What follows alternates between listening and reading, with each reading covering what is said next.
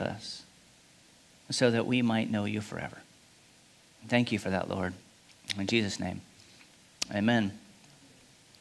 So there's, there's a verse in the Bible. It's one of my favorite verses in the Bible. And it's not just because it was the very first sermon I ever preached in homiletics class back at Corban University, uh, but because I think it's, uh, it's very important.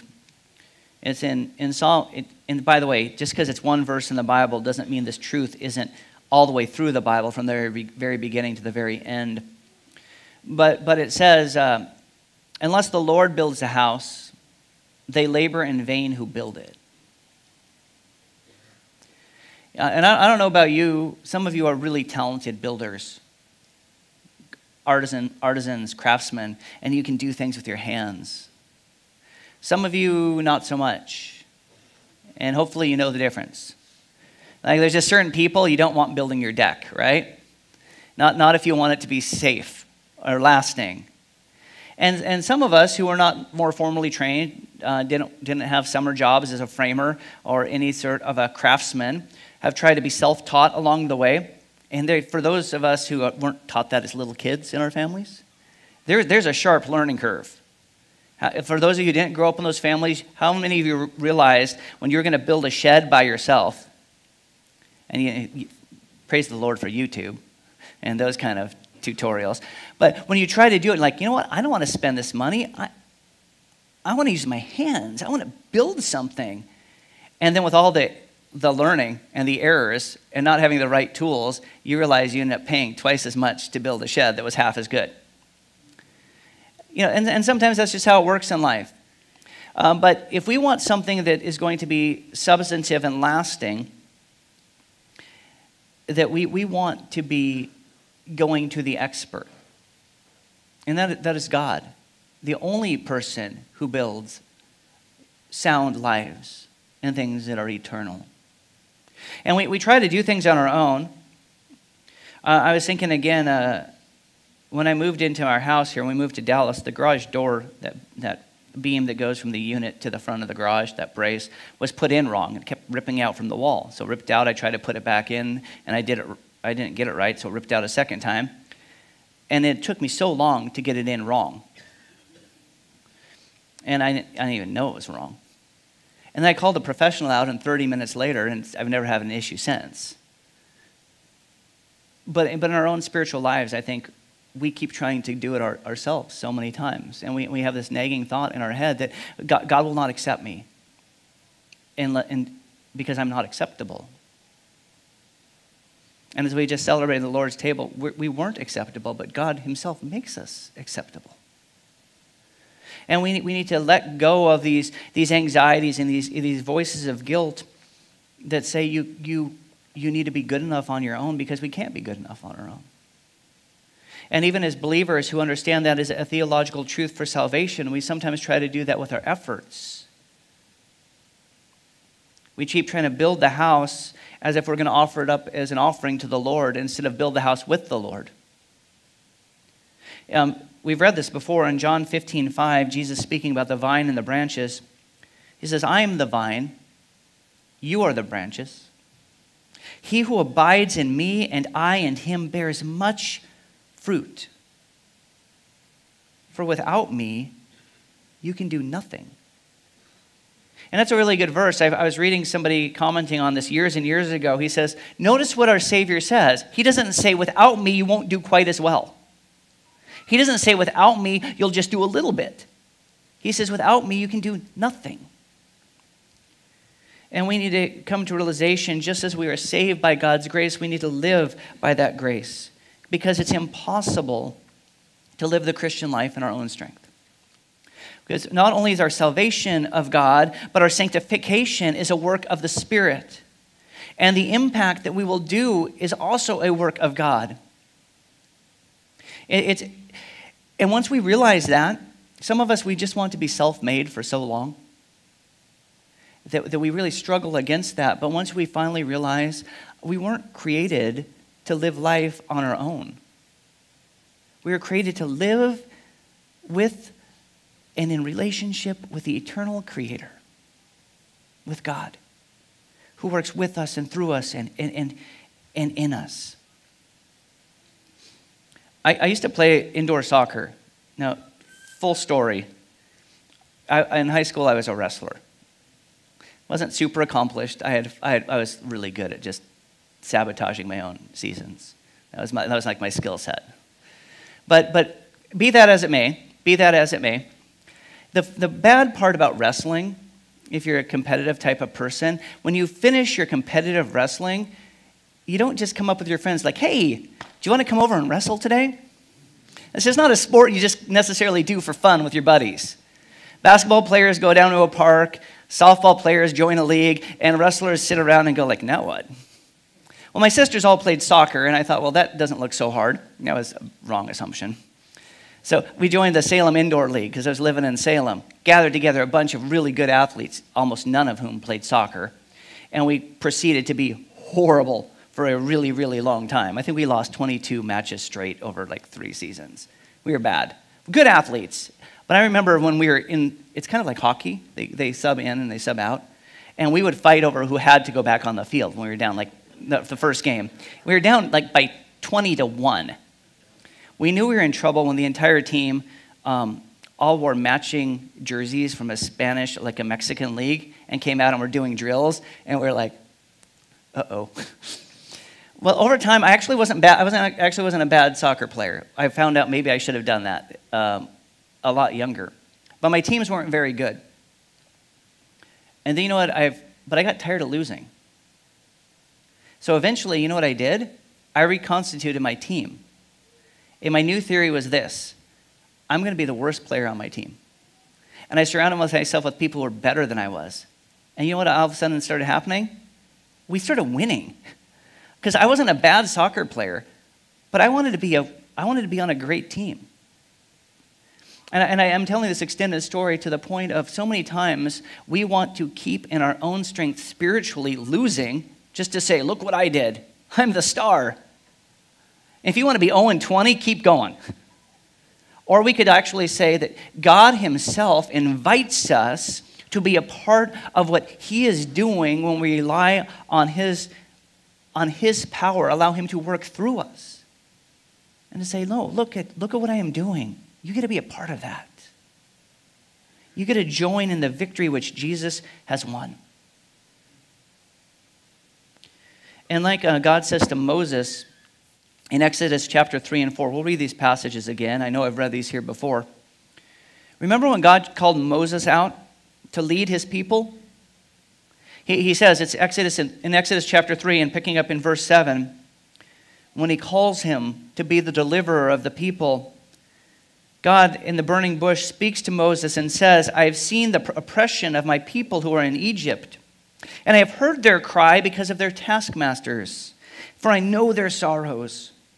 So I have come down to deliver them out of the hands of the Egyptians, and to bring them up from that land, to give them a good and large land, a land flowing with milk and honey. And then skipping to verse 10, he says, Come now, therefore I will send you to Pharaoh, that you may bring my people, the children of Israel, out of Egypt.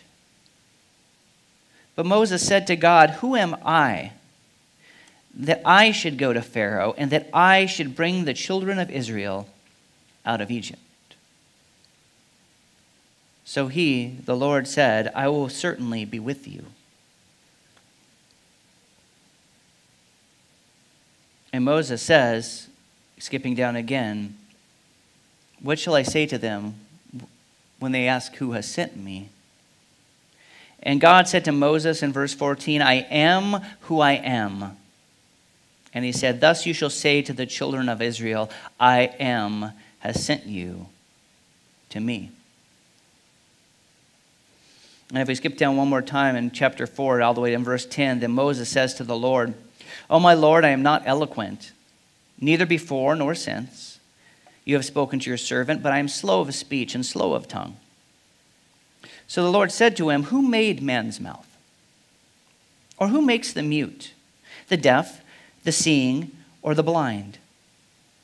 Have not I the Lord? Therefore go, and I will be with your mouth, and I will teach you what you should say. See, Mo- Moses didn't want to go. Why didn't Moses want to go? Because when he had tried to rescue the Hebrews many years previously, 40 years previously, he had failed spectacularly. He had been raised in the courts as a prince of Egypt. He thought that the people would understand his position and his power, and they would come around him and he would deliver them. But he did it in his own effort, and nothing happened. And he's been living under the shadow of that failure for 40 years, hiding on the backside of the desert as a shepherd. He knows he is not capable on his own. He had the resources, he had the training, he had the power in speech and action, and it meant nothing. But now that he knows that he needs the Lord, he doesn't yet realize that that's enough. Because Moses is saying to God, I don't think you understand who I am. But God is saying to Moses, I don't think you understand who I am. You need to be dependent on me. Your own efforts won't last, not if they're done in your own strength. You can impress people, but spiritually, things that last forever, those are, those are something, there's a work of God in that. You, you, do learn a lot in life and ministry. I know some of these illustrations I've said a lot. It's because they're things I've learned along the way. If they were your illustrations, They'd be slightly different, but probably some of the same themes. Remember when I was starting off in youth ministry? I wasn't even starting off. I should have known this. And you're trying to keep the attention of the kids. You're trying to, you, you love them, but you want, you want them to catch what you've already learned. They, they learn just as slowly as you did sometimes.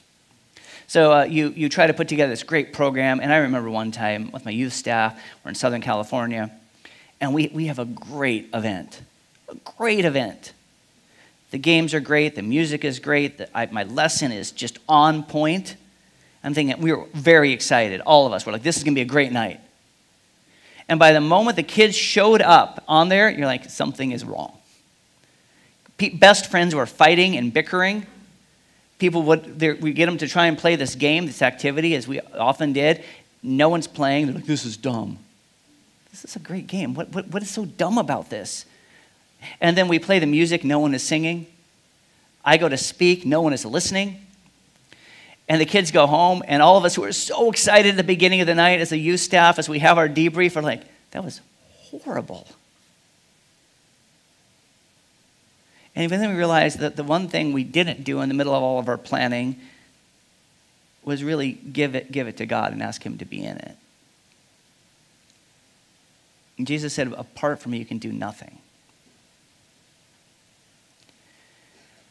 It was, it was actually probably back to back months because we had like an outreach every month. I remember the next week, month, we were not excited. Probably because we were so still down about the other one. I'm like, well, why are we putting in a lot of work? That was horrible. And people show up, and it had been a really busy month. And I said, well, last month was horrible, and this month will probably be worse. Um, and no amount of planning at this point is going to improve our product. So, so let's pray. Let's just give the rest of time to pray. And we did. And the game was horrible. It didn't even make sense. I made it up. The rules, they did not make sense. But you know what happened? The kids were like, this is the greatest game ever. I'm like, we can never play it again because I still don't know what's happening. And then we had a worship time, which that night was really bad because it was me leading a cappella. Not exactly the most compelling for middle school students. And then we have a lesson, and it was, it was not a good lesson. Okay, it wasn't. I was bored and I was really all over the place. I, I didn't even know where I was going. And at the end of the night, after this night of kids having fun and engaging, students coming up to me like, Thank you so much for sharing that. That meant so much to me. What you said made absolute sense. And I'm thinking, Nothing I said made sense. It was like the Holy Spirit took the words I said, and before they got to their ears, He sanctified them. And that happens. See, because when God says, apart from me, you can do nothing. Remember before that, he says, But he who abides in me will bear much fruit. And so, as we're making plans for this next year, whether they're personally or spiritually, I want us to remember that we have to be absolutely dependent on the Lord. We, we, we will never accomplish things for our own namesake here at EBC. because it's not about our reputation. If uh, God raises up other churches in this town that are faithful to the gospel and they're bigger and better and more people want to go there, then God bless them. We should rejoice. Because it's not about our reputation. And there's other good churches in this town. And we praise God for that. And, and if we don't just put on this, this, this effort out of our own strength so that maybe God will be pleased with us, but rather we seek his pleasure by asking him to work through us and let us serve with him. And personally, too, I, I know it's really a lot of temptation. Like, I, I don't have it all, all together as I'm trying to live this Christian life and be a witness. If you're waiting to be a good witness, if you're waiting until you have it all together to share your faith to be a good witness, you're, you're never going to share. But part of that is just the, the realization that God uses broken people. I mean, read the Gospels. The disciples were kind of a mess. But look what happened when they were in his hands and how he used them to impact and change the world. So I really hope that we that we go on that we trust God with what we're doing. Not, not just for ne- next week and a candidating weekend, but for every week. For everything that we are doing, knowing we're absolutely dependent on Him. And more written down here. Didn't know how long this would take to get through. So we're not going to read this, but when we do things in our own strength, this was just a picture. It's kind of like building a sandcastle on the beach. You can make a really great sandcastle, but they don't last. Sooner or later, the tide, the wind comes, or some little kid comes and jumps in the middle of it and knocks it all down. But if we want to do things that are lasting, that, that matter for all of eternity, that are not wood, hay, and stubble, that survive that day, then we need to, uh, we need to consider the Lord. And with this, I want to just read the, the words here in Isaiah. He says, Have you not known? Have you not heard? The everlasting God, the Lord, the creator of heavens and earth, neither faints nor is weary. His understanding is unsearchable. He gives power to the weak. And to those who have no might, he increases their strength. Even youths shall be faint and weary and the young men shall utterly fall. But those who wait on the Lord shall renew their strength. They shall mount up with wings like eagles. They shall run and not be weary. They shall walk and not faint. God has told us He will never leave us nor forsake us. And so eh, let us also be faithful to Him and to seek His leading this year. Personally, corporately, everything that we do, that we might bring him honor, and that by letting him have his work in our lives, that we will see just how much how much he can do with something that you may not feel like you have a lot to offer. But God indeed has taken the foolish things, the things that are not, the things that are despised, to shame the things which are. If, uh, if God can use 12 disciples, if God can use Balaam's donkey, God can use us. But, uh, but we can't do God's work without Him. So let's keep that in remembrance. With that, I'm going to close in prayer. We'll conclude our service. Thank you so much for being here. I invite you down to the coffee time or to continue on one of our studies that we have.